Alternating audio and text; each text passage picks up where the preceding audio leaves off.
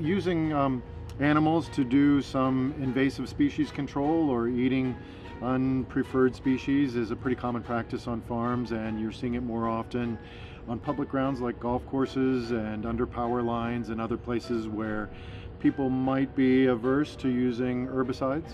Broad spectrum herbicides like Roundup are getting a lot of attention because they could be uh, a carcinogen. I mean, for folks who live on farms and keep goats and pigs, you know, it's, it's a really common practice. I use pigs on my farm all the time to clean up areas and poison ivy is a really common plant that they consume safely and eat it well and uh, my pigs do the same thing. They love poison ivy and they'll even dig it up and eat all the roots. There is a trick with this that you've got to um, watch them because if you have plants or young trees in there that you want to keep, you have to fence those out uh, because they'll also eat those good trees as well. So you've got to be pretty careful about where you put them because they eventually will eat everything in sight.